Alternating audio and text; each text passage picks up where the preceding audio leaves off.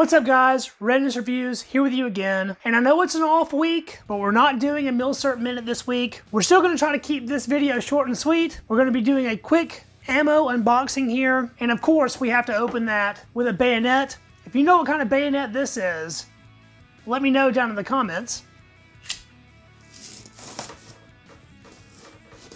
Now this ammo itself is nothing special. Just a couple things I needed to make some videos for you guys. But the main thing I wanted to go over in this video is who I bought this ammo from. Before we do that though, let's take a look at what we actually got. So I have a PPU 7.62 by 54R in a soft point boat tail 150 grain chambering, brass cased and reloadable, non-corrosive of course, which is something that I normally don't stock for 7.62 by 54R, but I thought it might come in handy. I have two boxes boxes of PPU 7.5 by 55 Swiss. Always need more 7.5 Swiss. Two boxes of 8x51R Lebel, also by PPU. Another one that I can't seem to get enough of recently. And then I have a couple things that are less Milsurp related. I've never used this brand before, but this is a small 50 round box of brass cased 9x19 Makarov. Another ammo brand that's new to me at least. Sergeant Major Munition, range friendly, 380 ACP. And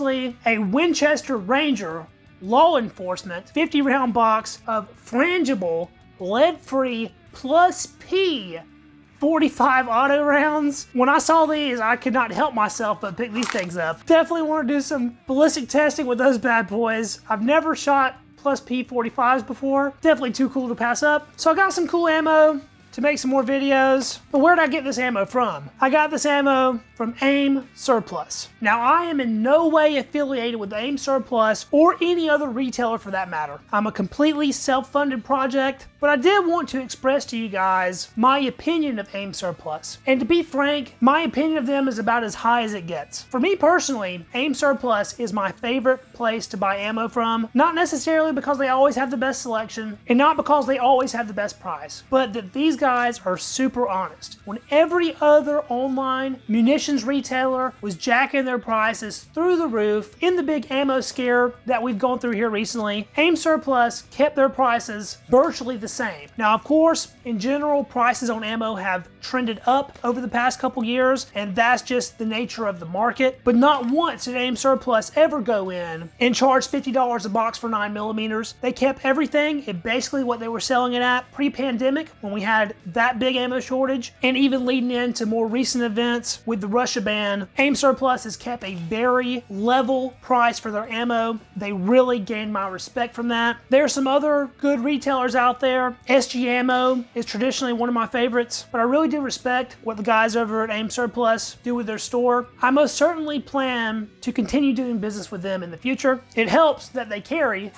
my favorite surplus ammo brand, PPU, and whenever a new batch of something comes in, AIM Surplus throws it right up on the website. And that about does it for the video. Told you it'd be short and sweet. Let me know where your favorite place to get ammo is down in the comments. If you liked the video, don't forget to hit the thumbs up to help it out with the algorithm and to subscribe to the channel to see all my future videos, ones like this, and videos with a little bit more substance. I really appreciate you guys checking it out, and I will catch you in the next video. See you then. Peace.